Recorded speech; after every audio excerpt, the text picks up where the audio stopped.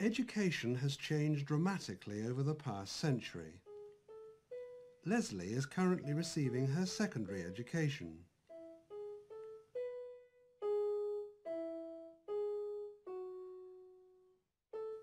The use of computers and other technology is widespread, in contrast to the use of a blackboard and chalk a hundred years ago.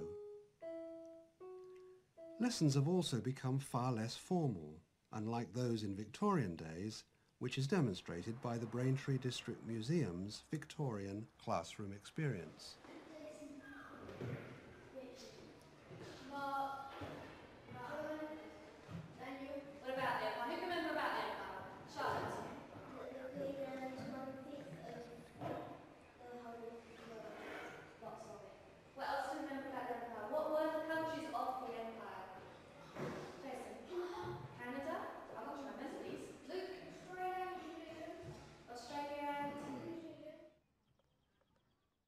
School Sports Day remains an important aspect of modern education.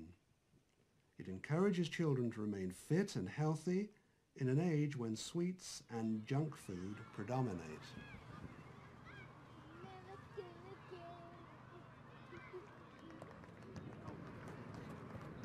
Football is one after-school activity that Jason enjoys. His family, who come to watch him develop his skill, support him.